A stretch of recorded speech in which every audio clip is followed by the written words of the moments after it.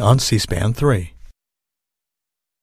Next, on Lectures in History, University of Michigan professor Melissa Borja teaches a class about Southeast Asian migration to the United States and post Vietnam War refugees. She examines how laws and public opinion have changed over the past five decades and emphasizes the difference between immigrants and refugees. Her class is about an hour. Today, we're going to talk about topic 18, which is Southeast Asian refugee migrations. And if you have been following the news in recent years, I imagine that you, like me, have found it difficult to ignore the topic of refugees. This is an image of a refugee's experience fleeing communist Vietnam um, in 1975, but in many ways it reminds us of images that we might see on the news today. It's hard to ignore the human stories of families perishing at sea. Refugees are suffocating in meat trucks. They're crowding onto leaky boats. They're drowning. The bodies of those who are unable to cross to safety are washing up on Mediterranean beaches. And refugees have been in the news for the past few years, particularly related to the crisis in Syria, but refugees are being uprooted by conflict all around the world. So we're not just talking about refugees coming from Syria, but from other war torn regions. Especially in the past couple years, it has also been very difficult to ignore the public response to refugees. And refugee resettlement, like so many other topics today, has become a polarizing topic. On one hand, opposition to refugees has been fierce and even hostile. Politicians at the local, state, and federal level have linked refugees to terrorism and have pursued anti refugee policies in the name of national security. The most famous of these measures is President Donald Trump's executive orders, which ground the federal refugee program virtually to a halt in January 2017. His imposition of what is widely known as the refugee ban shortly after taking office initiated one of the sharpest legal and political debates of his presidency and is part of a broader effort to limit the number of foreigners who are able to enter the United States. To be sure, politicians are not the only ones who have taken action on the issue of refugees.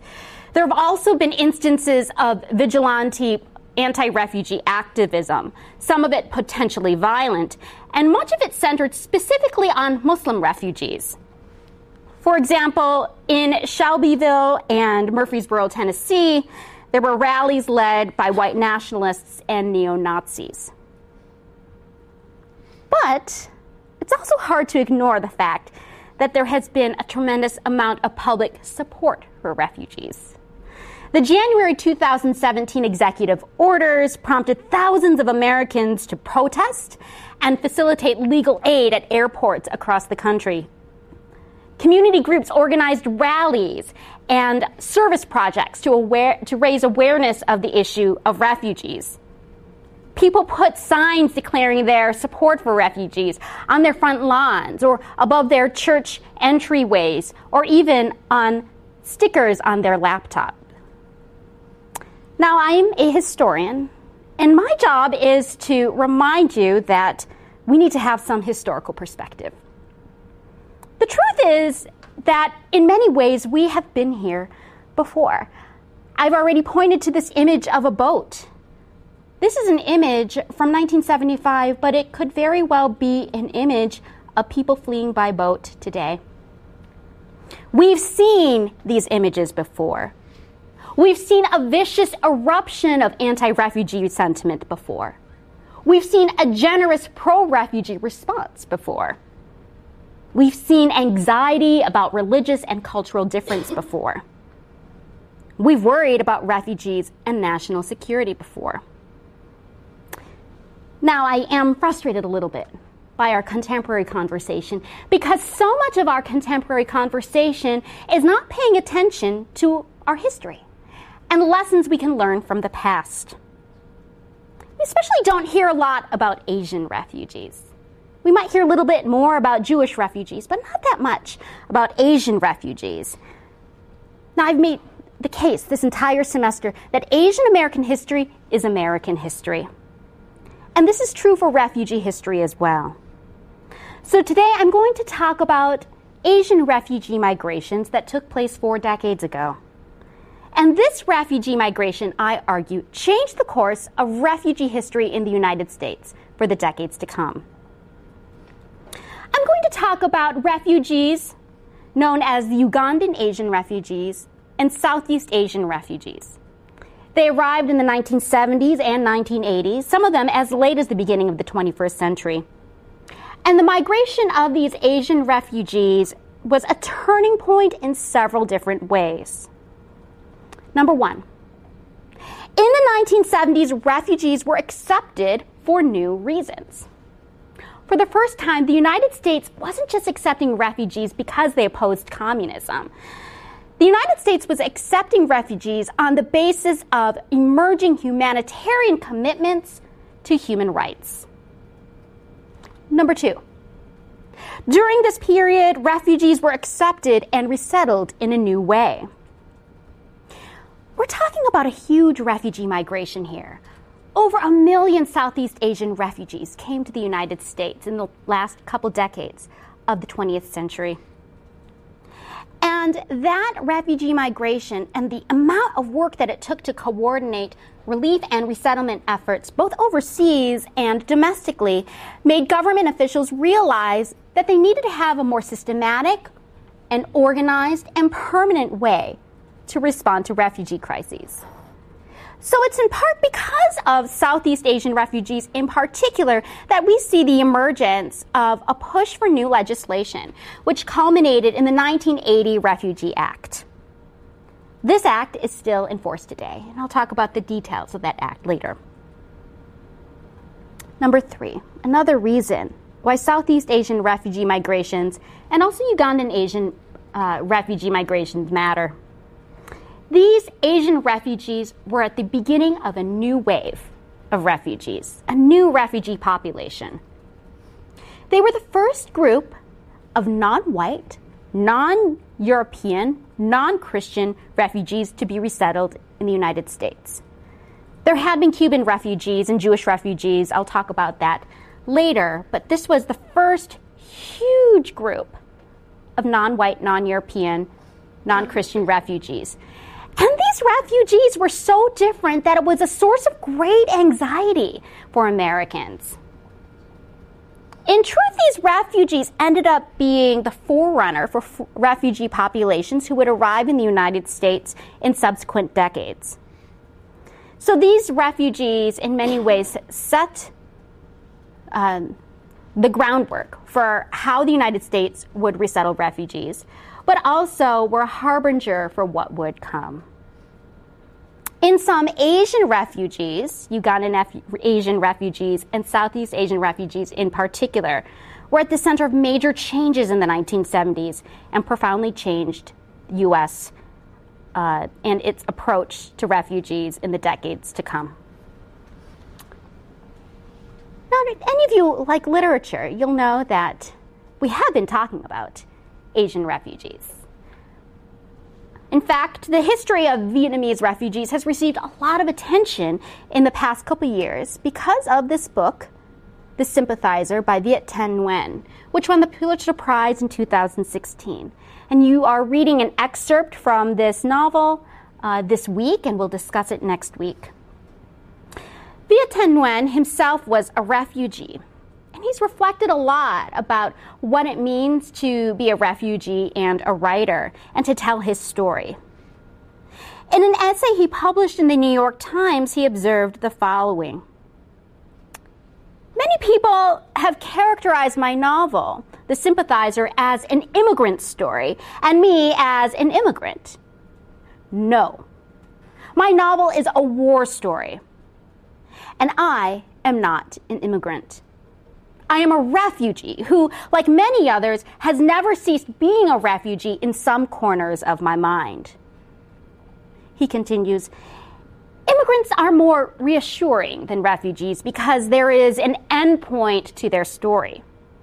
However, they arrive, whether they are documented or not, their desires for a new life can be absorbed into the American dream or into the European narrative of civilization. By contrast, refugees are zombies of the world, the undead who rise from dying states to march or swim toward our borders in endless waves. So let's stop and think about this line for a little bit. What do you think he means by saying that immigrants are different from refugees? Raise hands. Okay. I think that like there's um, a a choice that um, immigrants take to build their own like new future whereas like with um, the refugee crises that we see now there's often like a push mm-hmm. that forces them to leave their own countries and migrate somewhere else just because of like a failure of government mm-hmm. or or reasons that they don't have control over themselves. Absolutely. So there is a forced migration that characterizes refugee migrations rather than immigrants who, as you point out, have more of a choice. Um, I also think with refugees, there's um, somewhat of a connotation that when their home country, like when the turmoil stops in their home country, a lot of times they would be okay going back versus an immigrant came to this country by their own choice to like build a new life or whatever the reason is. And so um, for a refugee, the reason we would like welcome them in is because we're like housing them until they go back. Um, but with an immigrant, like that connotation isn't there. Mm-hmm. So the ability to be able to return to your home country. We've talked about how a lot of immigrants migrate to the United States or elsewhere and then return home, but refugees don't have that option. That's a really important point because they have been forced out due to war, persecution natural disaster, any number of reasons that make their life in their previous country impossible. They would not survive. So I think you're exactly right. Refugee migrations is characterized by a need for survival. What do you think he means when he says that refugees are zombies of the world? I thought that was evocative. Zombies of the world. The undead who rise from dying states? Um, in a way, like they are the only vessels of culture left of these dying states, and it's really hard to get someone to, you know, completely forfeit their culture because it is part of their identity. So as long as they live, the culture lives. Yes, okay. So I think this is really powerful. They are often vessels of their culture, they are leaving desperate situations where they would have otherwise died physically, and perhaps also their community would have died, their culture would have died. And so, this idea of people leaving dying states in circumstances of profound dislocation and trauma is really powerful. I think that language of zombies is really powerful because it reminds us of the desperation, the violence, the fear that people leave, that pushes people to migrate. And I think that it's important for us to remember that this violence, that this suffering, that this persecution, that this upheaval that forced them to migrate doesn't just and there, but continues to shape their lives in years to come. So, th- Viet Thanh Nguyen calls attention to, I think, the two most important aspects of refugees and what distinguishes them from immigrants. Number one, they are involuntary migrants, as you pointed out already, forcibly removed by their homes due to political conflict, natural disaster, or other extraordinary circumstances. And they are often very traumatized people, zombies, as he would say. The interesting thing about refugees is they are powerful in our mythology of American exceptionalist immigration history. Think about the poem that's on the Statue of Liberty, The New Colossus by Emma Lazarus. In it, Emma Lazarus describes the Statue of Liberty as the mother of exiles who says, Give me your tired, your poor, your huddled masses yearning to breathe free, the wretched refuse of your teeming shore. Send these, the homeless, tempest tossed, to me. I lift my lamp beside the golden door. How many of you have heard those lines before? So famous. And the fact that those lines are on the, the Statue of Liberty, which is a symbol of immigration in the United States, is really powerful. It really centers the United States or the idea of the United States as being a welcoming haven for people who are exiles.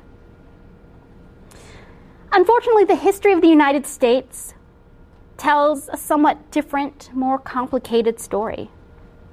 The truth is, we haven't always had the humanitarian impulse to welcome refugees. Usually, we've only done so when it's in our humanitarian national interest. Usually, we've been more inclined to actually reject refugees than to accept them. And to borrow the words of historian Eric Tang, often refugees who have been accepted for resettlement here are not only resettled, but are also deeply unsettled by the experience of forced migration and resettlement in the United States. to give you an overview of what I'll talk about today, I'll give you a little bit of background about American refugee resettlement policy after the Second War. And then I'm going to use that background to set up why the 1970s were such an important period of change. That's when a small group of Ugandan Asian refugees first arrived in the United States, and they were followed by an even larger group of refugees, Southeast Asian refugees, who are alternatively described as Indo-Chinese refugees. These included refugees from Vietnam, Laos, Cambodian, and Cambodia. I'll talk about the crisis that developed overseas, but I'll focus mostly on developments that took place here in the United States how the general public viewed Southeast Asian refugees, how Southeast Asian refugees were admitted and resettled, and how Southeast Asian refugees themselves tell stories about their experience. I'll tease out why the history of Southeast Asian refugee resettlement matters, and I'll conclude with some discussion about how Southeast Asian Americans today are drawing on their refugee history to intervene in contemporary public policy debates. Any questions so far? So let's begin with some background about refugee resettlement in the United States during the 20th century.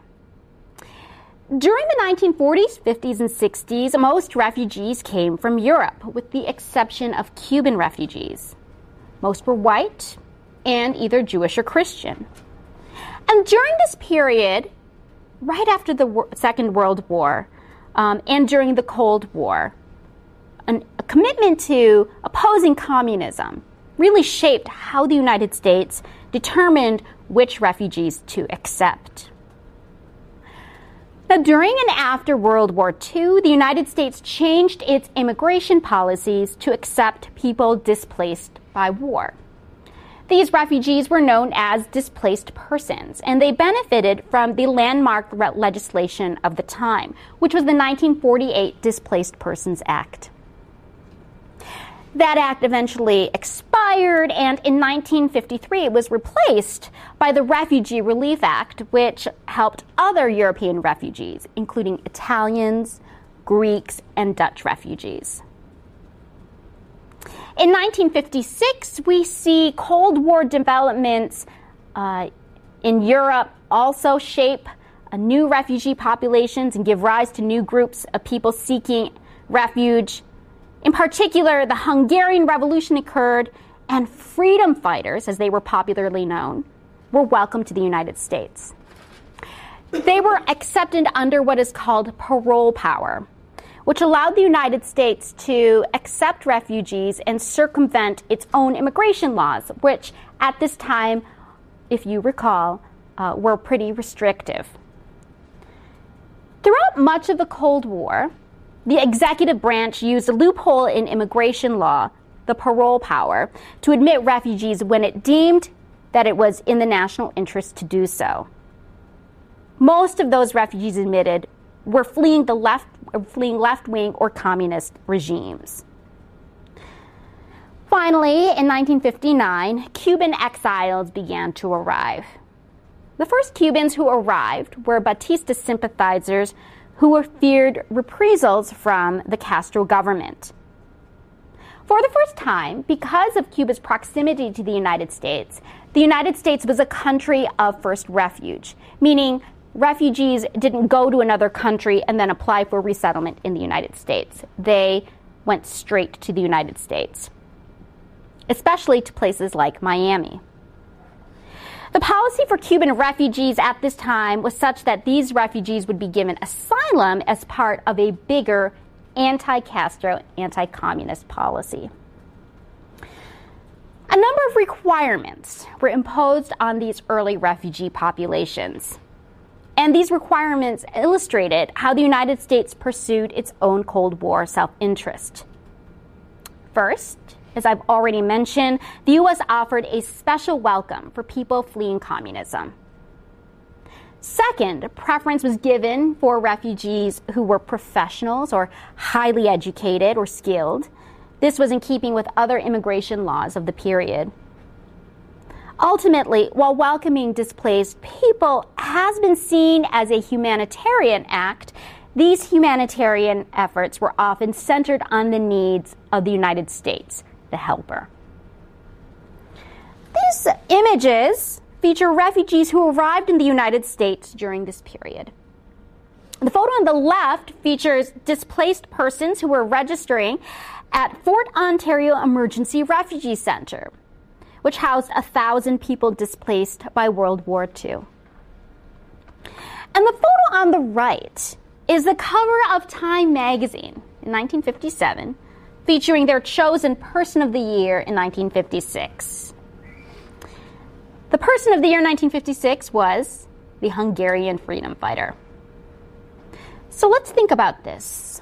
What do you think this image on the right tells us about how Americans viewed Hungarian freedom fighters during this time?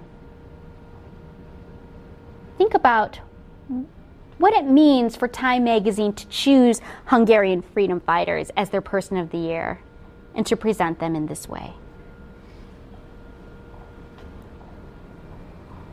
What does this magazine cover tell us about how Americans viewed Hungarian refugees?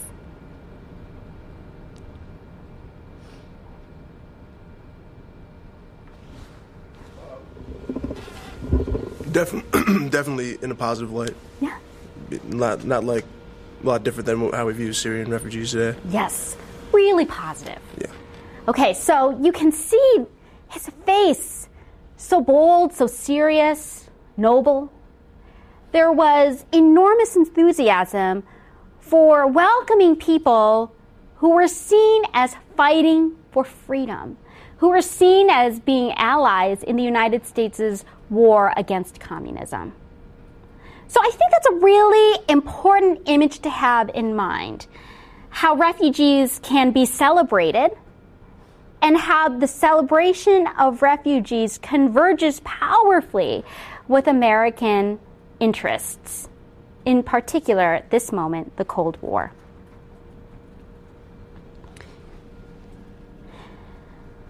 Later in the 20th century, the Cold War continued to shape the United States' stance towards refugee populations. But the last quarter of the 20th century saw a major shift in the world's refugee populations. In 1964, a refugee affairs expert at the World Council of Churches declared we are now faced with the problem of refugees who are by and large non white and by and large non Christian, and it remains to be seen how we will react. Americans were worried about how the United States would handle these new refugees. One pastor in St. Paul, Minnesota explained many problems will arise because of the new influx of people to America as a result of new people coming from different cultures and backgrounds. How would these new immigrants be accepted? He asked. Government leaders also worried about this new immigrant population, new refugee population in particular. During a congressional hearing shortly after the fall of Saigon, Julia Taft, who was of the Interagency Task Force on Indochina Refugees, declared, Never before in the history of this country, Mr. Chairman, have so many people from such different cultures, ethnic, and religious backgrounds been introduced into American society in such a short time. What set these refugees apart from previous refugee populations is not simply that they were racially, ethnically, and religiously different, but also that these refugee communities didn't necessarily have a community of people in the United States already to welcome them. So, who were these new refugees?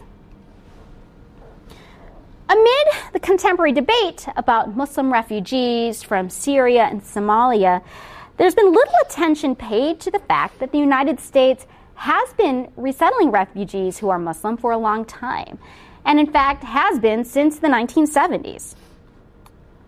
The first Muslim refugees accepted for resettlement were Ugandan Asian refugees. These were Asian origin people who had been expelled from Uganda by Idi Amin. They were resettled in the United States and also the United Kingdom and elsewhere, beginning in 1972. These Ugandan Asian refugees marked a turning point in that they were quite different from their refugee predecessors. They were religiously diverse, identifying as Muslim and also Hindu, Sikh, and Christian. So, one big question worth asking how did it go?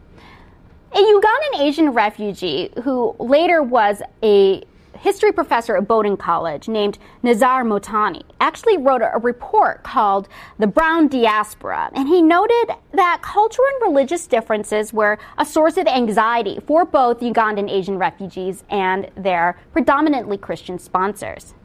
And he noted that some problems did arise. For example, a strictly vegetarian Brahmin was given work in a poultry processing plant, which did not go so well. He pointed out that it produced significant psychological and emotional strain. And though he praised the good intentions of the sponsors and the voluntary agencies, Motani said that there needed to be better understanding of the needs of refugees. Overall, though, he said that Ugandan Asian refugees had a pretty positive experience. Now, I mentioned Ugandan Asian refugees because they really set the stage for a larger refugee population that arrived in the 1970s. So, a lot of the lessons learned from Ugandan Asian refugee resettlement informed how these groups handled Southeast Asian refugees. Shortly after the arrival of Ugandan Asian refugees, another larger refugee population arrived as a result of war in Southeast Asia. To give you some context about what's happening in Southeast Asia at the time. In 1975, communist governments took control in Vietnam, Cambodia, and Laos. And this initiated the outmigration of thousands of people fleeing for their lives. The American public tended to see these refugees as a single group, frequently referred to as the Indo-Chinese. And that category allows a lot of really important differences within the population. These were several different ethnic groups coming from different countries, speaking different languages, having different religions, different class backgrounds, political orientations, and more. What united them was the experience of war the trauma of war, the forced migration produced by war, and the experience of having to create a new life in the United States after experiencing the war. These refugees arrived in several waves. The first occurred during the United States' military involvement in the Vietnam War. which began in 1965, lasted a decade. By 1971, the war had already caused considerable violence and economic, political, and cultural damage. It had displaced by 1971 approximately 6 million refugees in South Vietnam and 700,000 refugees in Laos. Later, in the fall of Saigon in the spring of 1975, the withdrawal of American military forces caused another outpouring of refugees. In response to this immediate crisis, President Gerald Ford gave the green light to parole in or admit 200,000 Vietnamese refugees. Some of them were evacuated through the help of American military forces. Others fled on their own and were later taken into protective custody by the United States. These Vietnamese refugees in 1975 were placed in several military run refugee camps on military bases here in the United States. And they stayed there until sponsors could assist their resettlement elsewhere. Now, as 1976 began, Americans thought they were done with the refugee crisis. They had handled those couple hundred thousand refugees who went to those military run refugee camps. But the crisis was only beginning to heat up at this point. Violence and political conflict in Southeast Asia continued to escalate and continued to spur new refugee migrations. For example, in Cambodia, the Vietnamese invasion of 1978 brought the downfall of the Khmer Rouge and the removal of Pol Pot in January 1979. During Pol Pot's three and a half years in power, the Khmer Rouge had killed 1.7 million people, which was about 21% of the Cambodian population. With Pol Pot no longer in power, approximately half a million Cambodian people who had managed to survive his regime sought refuge in nearby Thailand. An additional 122,000 Cambodian refugees joined them in Thailand between 1980 and 1986. In Vietnam, there was another outpouring of refugees known famously as the Boat People. These people escaped by sea. They were people who had formerly been political, military, or cultural leaders in South Vietnam.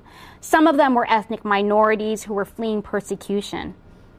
About 160,000 went to China, while tens of thousands took to the oceans and made their way to other places in Southeast Asia, including Thailand, Malaysia, Indonesia, and the Philippines.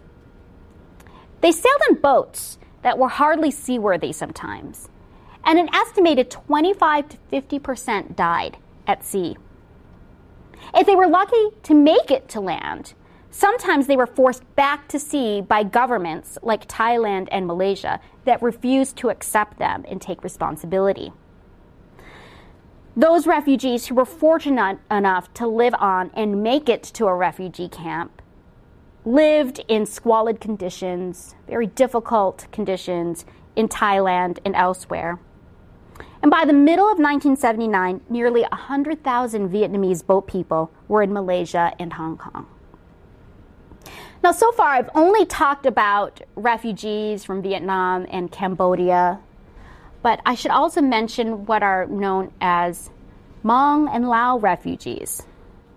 This is an image of a pan dao, which is a traditional Hmong story cloth quilt It's really embroidery, but a lot of stories about the war have been told through this traditional art form.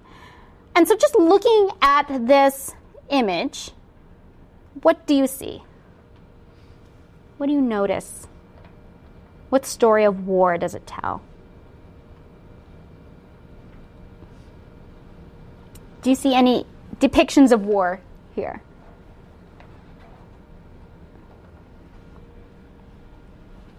Anyone notice the? Oh yeah. Yeah, uh, I think it's really interesting that the the spanning of like technology is really depicted in this depiction of war because you, I see like sword fighting, but then I also see planes, which is to me a very funny thing to see embroidered on like a quilt. And I'm also just interested in like the deer to the left mm. slurping at the river, and I guess it kind of like is a nice juxtaposition about how like war comes into a landscape, but the landscape still functions as is, and then it would be really cool to like see an aftermath quilt of like what is what would happen. Yeah, absolutely. You call attention to some really key details. You see a river. This river represents the Mekong River, which bordered Laos and Thailand. And you see the airplanes, the helicopters. You see this fascinating juxtaposition of rural life and war. And you see these little boxy buildings, which could represent either the refugee camps or the military sites where Hmong troops organized. You see people in a line, all walking in the same direction, fleeing perhaps for safety. So this represents Hmong experiences during the Secret War and their subsequent migration out of Laos to Thailand. Now, the United States worked with the Hmong as well as Lao people in their fight against communists during the secret war in Laos in the 1960s. With the assistance of the CIA and the Green Berets, General Vang Pao, a Hmong leader, and tens of thousands of Hmong soldiers whom he commanded, were the frontline defense responsible for warding off the communist advance until the American evacuation in 1973. The staggering cost of Hmong sacrifice during this period is really important to know. Throughout 13 years of fierce guerrilla warfare, estimates claim that one in four Hmong soldiers, approximately 17,000 people, died. And some of the Hmong soldiers who died were teenagers, were quite young. The Secret War entered a new phase in 1973 when the United States signed a peace accord with North Vietnam and evacuated all of the American military leaders from Laos. But 18,000 Hmong soldiers were left behind. Some dispersed into the countryside, some joined the General Army. In 1975, Vang Pao and some military leaders were airlifted by the CIA, out of Laos. But most Hmong people were less fortunate. Of the 10,000 Hmong who fled the headquarters at Long Cheng, only a small fraction were evacuated by the United States. Thousands of Hmong people therefore embarked on the treacherous westward exodus to Thailand. Carrying their possessions on their back, families traveled by foot through the jungle and journeyed at night to avoid capture by the communists. By 1979, nearly 30,000 Hmong refugees attempted to make the dangerous crossing each month. So that crossing of the river is such a powerful part among stories of their refugee migration. And you can see it powerfully depicted here. Now, Americans today have paid attention to news of refugee crises overseas. They've been following news reports, they've been watching footage on nightly news, they've been following it on social media, and Americans in the 1970s were just like us today. They were following developments overseas with great interest. And Americans who were moved by news accounts of this humanitarian crisis, um, this was a really important development in causing Americans to say we should actually do something. The plight of Southeast Asian refugees began to build uh, and Americans began to push to provide relief and resettlement opportunities. So, today, or first, I want to talk about support for Southeast Asian refugees. Americans gave a lot of reasons to support these Southeast Asian refugees. For one, many Americans rooted their support in the idea that the United States is an exceptional country, an immigrant country that has special status in history as a refuge for the scorned, hated, and hunted. One 1975 public opinion survey found that the leading reason why Americans supported the admission of Southeast Asian refugees was the quote, tradition of the United States as a sanctuary for Europeans fleeing oppression of their homelands. That same poll found that a plurality agreed with the statement that the United States began with people of all races, creeds, and nationalities coming here to escape religious or pers- political persecution. So we ought to let the refugees from Vietnam in.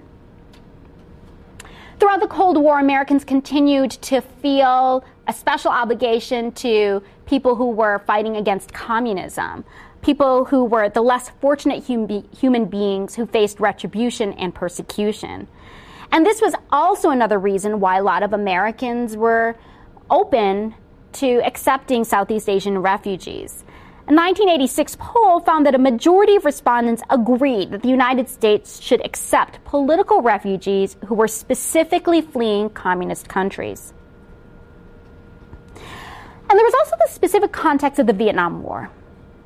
The fact that refugees were fleeing a region where the United States had been directly involved in years of brutal warfare heightened Americans' sense of obligation.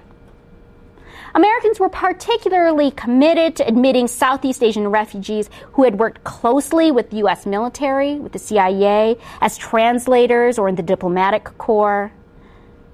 Americans who had worked in Vietnam felt terrible about potentially abandoning their Southeast Asian colleagues. And other refugee advocates argued that Americans must aid and admit Southeast Asian refugees whose suffering was the direct consequence of U.S. military action. For some religious people, accepting refugees for resettlement was an act of penance for America's sins in Vietnam. Just as powerful as American guilt was the idea of American goodness. Pride in American compassion and generosity spurred Americans to take action. The idea that the United States was the benevolent leader of the free world also converged with religious ideas. The idea that the United States needed to be the Good Samaritan. Finally, refugee advocates argued that Americans should not admit refugees because Americans are good, but because refugees are good for America. One Senate resolution from 1975 declared this period of influx of refugees and exiles can serve to keep us humble, saving us from the sins of arrogance, pride, and self righteousness.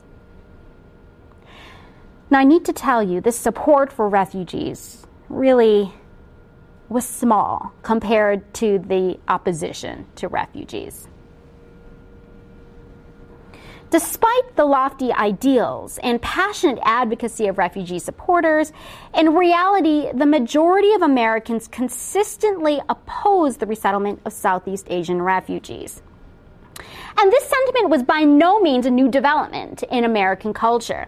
Public opinion polls indicate that consistently throughout the 20th century, Americans have not supported the admission and resettlement of refugees. For example, in January 1939, as the U.S. was grappling with the question of whether to accept Jewish refugees fleeing Nazi Germany, only 30% of Americans surveyed said that the U.S. should resettle Jewish refugees. 61% said it should not. Now compare that to public opinion polls after the Vietnam War. One national Gallup poll in May 1975, which is right after the fall of Saigon, found that only 36% of Americans surveyed favored the resettlement of Southeast Asian refugees. 54% of Americans surveyed opposed it. Attitudes towards Southeast Asian refugees did warm somewhat over time, but American reluctance to admit Southeast Asian refugees remained fairly consistent throughout the 1970s and 80s. Even a full decade after the end of the Vietnam War, a plurality of Americans believed that the United States had accepted too many refugees. And as this slide indicates, I added some statistics from October 2016. 41% of registered American voters said that the U.S. should accept Syrian refugees. 54% said it should not. So this is interesting because more Americans are supportive of refugee resettlement today than compared to after the Vietnam War, which I think is a surprising statistic for a lot of people. So, why do people oppose Southeast Asian refugees? The New York Times, shortly after the fall of Saigon, visited a town called Niceville, Florida. That's actually its name, Niceville. The truth is that the town was not particularly nice to the refugees who were arriving from Vietnam. Niceville is located near Eglin Air Force Base, which was the site of one of the four military run refugee camps. And despite the proximity to Vietnamese refugees, or perhaps because of it, the people of Niceville revealed the limited, limits of American um, welcome. A local radio station polled area residents about the 1,500 Vietnamese refugees being airlifted from Saigon. And 80% of the people said that they did not want the military to bring refugees to their town. At one point, residents actually circulated a po- uh, petition demanding that refugees be sent to a different place, and school children made jokes about shooting refugees. Far as I'm concerned, they can ship them all right back, one woman told the New York Times. This woman's support for sending refugees back to Vietnam reflected broader national sentiment. In one national poll in June 1975, 85% of Americans believed that the United States was too panicked when Saigon fell and that the government should arrange to send these refugees back to Saigon. In Valparaiso, which is a town close to Niceville, anxiety about refugees reflected anxiety about economic issues, the stagnating economy, and weakening social safety net. We've got enough of our own problems to take care of, said Grady Tomberlin, a local barber. One of his customers agreed they don't even have enough money to take care of Social Security now, and they want to bring in more people. These economic concerns were also in keeping with national sentiment. Many Americans believed that Southeast Asian refugees posed an economic burden on the U.S. A survey in June 1975 found that 62% of Americans believed that immigrants take jobs away from Americans only 28% believed otherwise. And then there were issues other than economic issues. For one, there was concern about security, about communists slipping in with the refugees. And this sounds a little bit familiar, doesn't it? Robert Carr, a realtor nearby, Val- nearby Valparaiso, feared that Vietnamese refugees would bring communist infiltrators. How do you know we're not going to get the bad guys? He said. You can't say for sure. Nobody can. And Lord knows we got enough communist infiltration right now. He wasn't alone in his concerns. This topic also came up in discussions in Congress. In 1975, Ambassador L. Dean Brown, who led the Ford administration's response to Southeast Asian refugees, responded to several questions from Congress about the adequacy of the Immigration and Naturalization Service's security screening which many saw as overstretched and pressured to maximize expediency over thoroughness. There were also cultural concerns. Americans opposed to refugee resettlement argued that Southeast Asian refugees were culturally unassimilable, a danger to American well being. And here you see the emergence of language that echoes the yellow peril language that we saw earlier in American history. Opponents of refugee resettlement portrayed Southeast Asian people as vice and germ ridden people who threatened public health. There's no telling what kind of diseases they'll be bringing with them, said Vincent Davis of Niceville. And when asked to identify what diseases exactly they might be bringing, he couldn't quite name them. He said, I don't know, but there's bound to be some kind of those tropical germs floating around. Hostility to Southeast Asian refugees sometimes boiled down to simple racism. At Fort Walton Beach High School, for example, which was near Niceville, students discussed plans to establish a Ku Klux Klan. So, this is in many ways resonant with what we're hearing today a variety of reasons why people are concerned about admitting refugees. The funny thing about refugees, the funny thing about Southeast Asian refugees, is that given all of this hostility, it actually happened. Southeast Asian refugees were actually admitted and resettled. As the historian Carl Bon Tempo put it, given the intensity of this public opposition, it's a miracle that Southeast Asian refugees were resettled in the United States at all. And they were resettled in substantial numbers. Between 1975 and 2000, over a million Southeast Asian refugees came to the United States. And what was the most extensive, expensive, and institutionally complex resettlement effort in American history? It was also haphazard, chaotic, controversial, and planners expected it would take a year, but it ended up taking decades. Southeast Asian refugee migration developed in several phases. There was first the Indochina Migration and Refugee Assistance Act in 1975. This outlined the first plans to help refugees from Vietnam and Cambodia. In these efforts, the federal government gravely underestimated how expensive it would be, how much money was needed, how much time and manpower. And so, in the years that followed, Congress approved the arrival of more refugees, including Lao and Hmong refugees, in a series of stopgap measures. By 1978, the stream of Southeast Asian refugees became a tide as more Vietnamese, Cambodian, lowland Lao, and Hmong refugees began to come to the U.S. So President Jimmy Carter raised the quota of incoming refugees to 14,000 people per month in 1979. And there remained the challenge of bringing these refugees to a level of self sufficiency. To meet these needs, Congress passed a landmark piece of legislation, the Refugee Act of 1980. And this is really important because it's the act under which we operate still today. It aimed to fix the inefficiencies in the resettlement program and it also maintained much of the pre existing program, but aimed to make it more permanent and stable. It capped refugee annual entries at 50,000. It created new admissions procedures that facilitated the efficient resettlement of refugees. It provided long term funding for refugee programs. So it was the first general refugee act.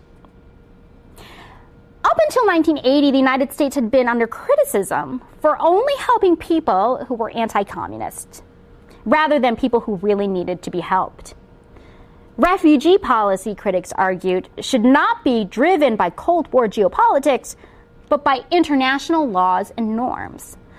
So the 1980 Refugee Act is also important because it redefined refugee in American law. It defines refugees as any person who is outside his or her own country, who is unable or unwilling to return to that country, as your point raised earlier, and is unable or unwilling to avail himself of the protection of that country out of fear of persecution because of race, religion, nationality, political opinion, and more. So, Southeast Asian refugee resettlement, given its complexity, helped illuminate the need for the 1980 Refugee Act, and that's why it's important. But it also marked an important shift the shift towards centering refugee admissions on human rights rather than Cold War anti communism. And this period generally saw a shift towards human rights, humanitarian thinking. Not everyone was on board with this. Gerald Ford continued to make the argument that we should admit refugees because they had been the United States' ally in its fight against communism globally. But liberal pro refugee advocates like Senator Ted Kennedy emphasized that Southeast Asian refugees deserved American help due to a moral responsibility to alleviate suffering. So, what happened to these refugees once they arrived in the United States? How were they resettled? A lot of conversation focuses on admission, but we also need to think about how refugees were resettled because successful refugee resettlement made policymakers more likely to want to admit more refugees. And refugee admissions and refugee resettlement in this way are very intertwined. In the United States, refugee resettlement is a public private effort.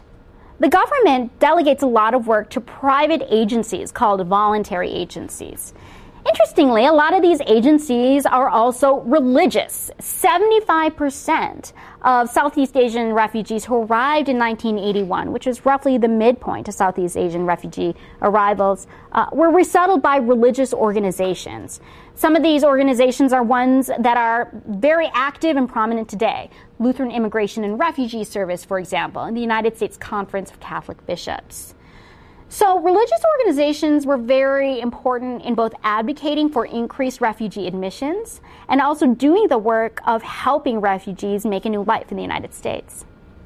These voluntary agencies received a government grant between $300 and $500 per refugee to help refugees in their first few weeks upon arrival. And these voluntary agencies also partnered with local organizations, sometimes an individual, usually a community group especially a congregation, a synagogue, or a church. And these churches um, or civic organizations would sponsor refugees and sort of take them under their wing. Sometimes refugees would actually live in church buildings for their first few days in the United States. I interviewed one family, um, or one church sponsor that had housed a family in their church and they didn't have showers, so the refugees lived in the Sunday school classrooms and then walked across the street to the seminary uh, and took showers there. And they lived like that for a few weeks.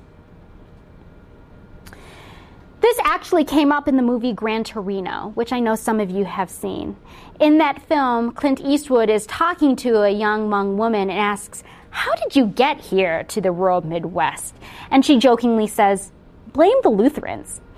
And I think that scene in Gran Torino says very succinctly one important theme.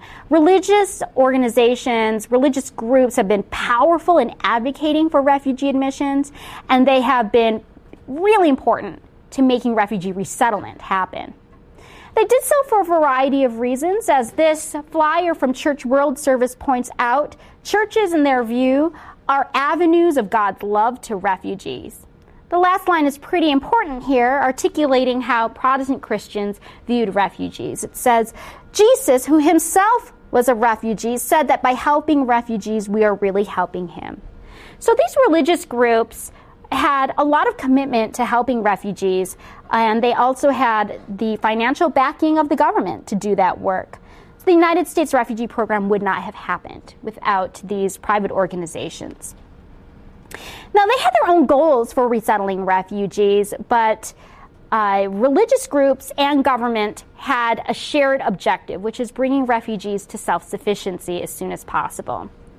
This quote from Mark Franken of the Migration and Refugee Service of the United States Conference of Catholic Bishops illuminates that. He says, I'm advising someone who wants to make a difference and wants to get involved in that effort, but also advise that their role is not to be everything for the newcomer.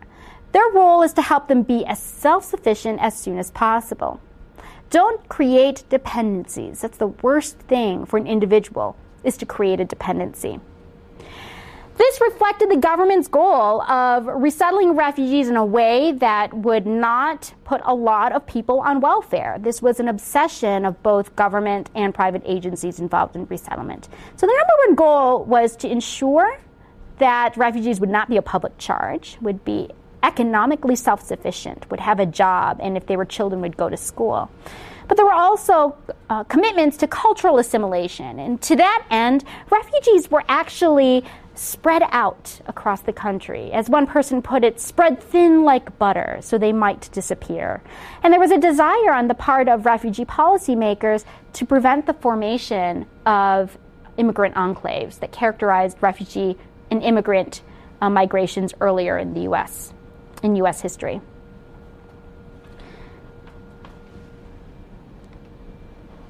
So, my final portion today, I want to talk about how refugees experienced this migration. In my view, a lot of our conversation about refugee migrations today takes in consideration the needs of government, it takes into consideration the needs of sponsors, of community members. It doesn't always involve listening to Southeast Asian refugee voices. So, in general, I will say uh, that refugees were grateful to be resettled in the United States, but they were also deeply unsettled by the experience.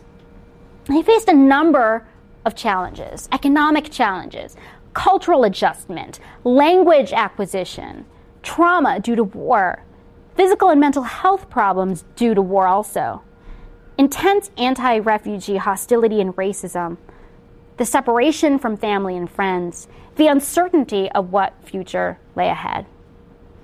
I think one of the most powerful ways to understand what it was like to experience this refugee migration is to listen to oral histories. And so I'm going to call attention to Yer Mua's story. Yer Mua is a Hmong woman who currently lives in St. Paul, Minnesota.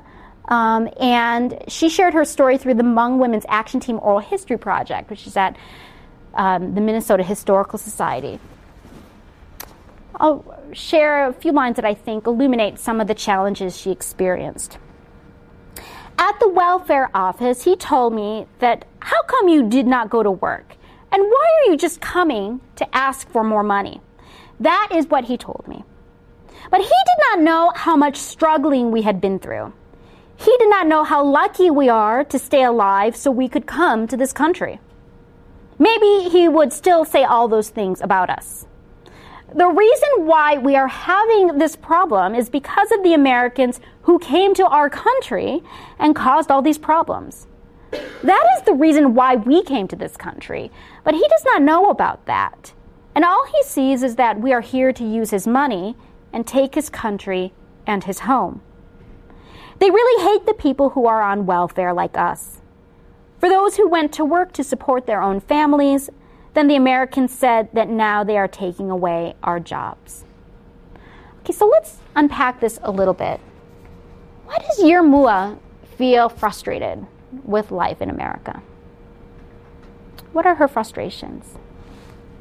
I just feel like um, she's frustrated because the welfare um, office is like assuming that her story without really knowing her, mm-hmm. and it kind of actually reminds us of like the last discussion and how and the perception of like Americans towards like Muslim America.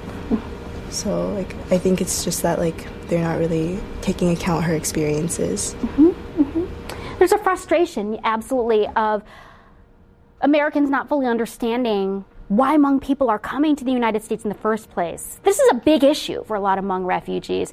We had fought on your side, and why are you hating us now? There was a lot of frustration with the lack of understanding and the lack of history. And by sharing stories through things like oral history projects and memoirs and fiction, I think Hmong people, Vietnamese people, have been able to tell their story in a to a wider audience and improve understanding. But in those first years, they didn't really have a platform to tell their story and to improve understanding as easily as they do now, for sure.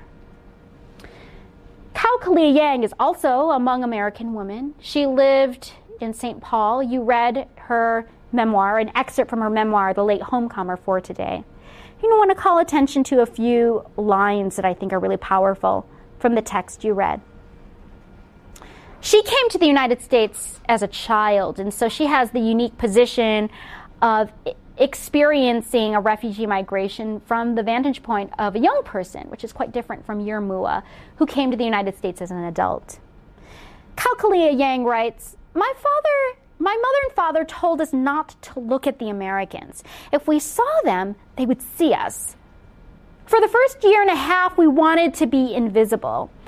Everywhere we went beyond McDonough, McDonough Housing Project, we were looked at and we felt exposed. We were dealing with a widespread realization that all Hmong people must do one of two things to survive in America grow up or grow old. Okay, so she felt profound pressure to grow up really fast, translating for her parents, helping them navigate the bureaucracy that allowed their family to eat. Later, she writes Money was like a person I had never known or a wall I had never breached before. it kept me away from my grandma. I saw no way to climb this wall. Sometimes I thought so much about money that I couldn't sleep. Money was not bills and coins or a check from welfare. In my imagination, it was much more. It was the nightmare that kept love apart in America. So here you have another aspect of frustration. Her family's not just financially struggling, but that financial struggle meant that they could not be with loved ones. This is a really powerful aspect of refugee migrations, is the fact that people might be separated for years from family members, might not even know what their status is. one last line from the memoir. At night, the families gathered for long conversations, which were always about surviving in America. The same topic that the adults in my family started the first night we arrived in the country. It was a conversation that would continue for the next 20 years.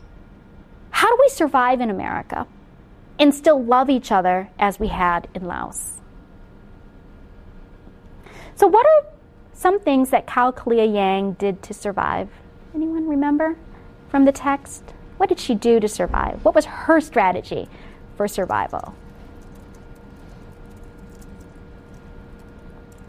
How to connect to her commitment to education. For Kao Kalia Yang, the way to survive was to do well in school. A tremendous amount of pressure on her in this story to do well academically, to maybe go to college someday. And one thing that I think is really powerful about learning about Southeast Asian American history is it reminds us that Asian Americans are not a, mo- uh, monolithic model minority, that there are a variety of different backgrounds, experiences that shape their migration to the United States and the ways that they're able to thrive in the United States. What's amazing to see is how much upward mobility has been accomplished by a lot of these refugees within the span of a generation. I once interviewed a Hmong woman who described how she gave birth on the side of the Mekong River to a baby. And she couldn't immediately swim across the Mekong River because she had just given birth and the baby was so small. But as soon as she was able, she did. And her husband carried one child on his shoulders and she carried the newborn baby and they swam across the river as troops were shooting at them. And I asked after she told this story, well, what happened to that baby that you carried? And she said, oh, she's a law student at UC Berkeley now.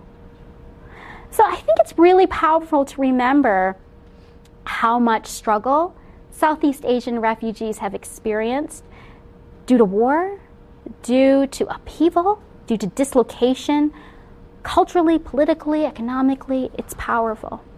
But I also think we do a disservice by just focusing on success stories. And I want to conclude here.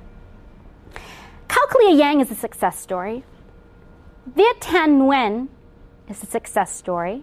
Award winning Southeast Asian authors and professors. But just like how the model minority mythology is so problematic, so too is a narrative of Southeast Asian refugee migrations that only focuses on success.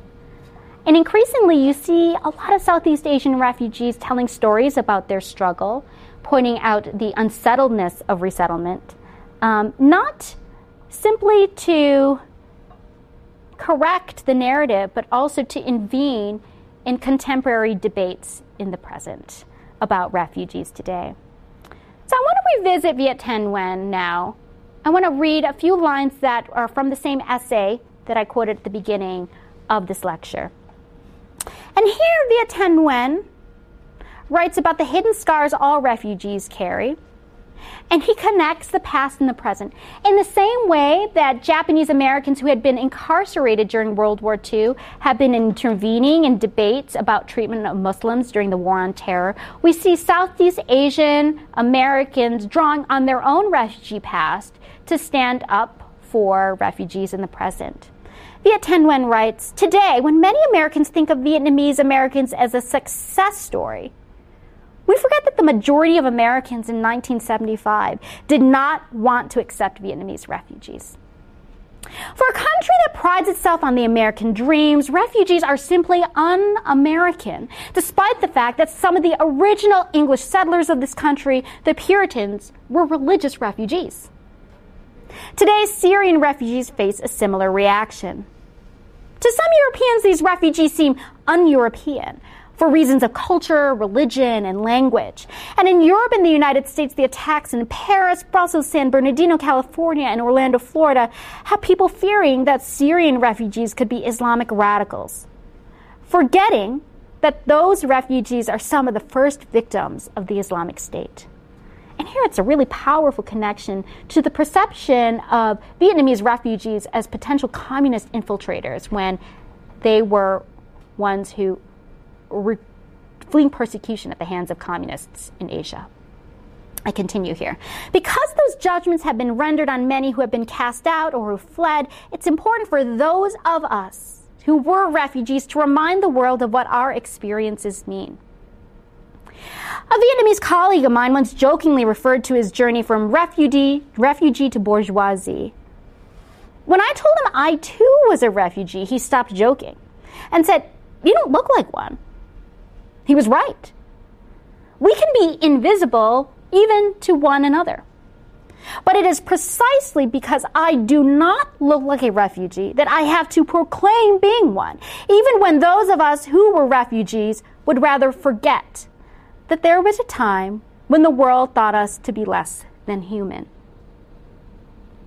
So I will close there.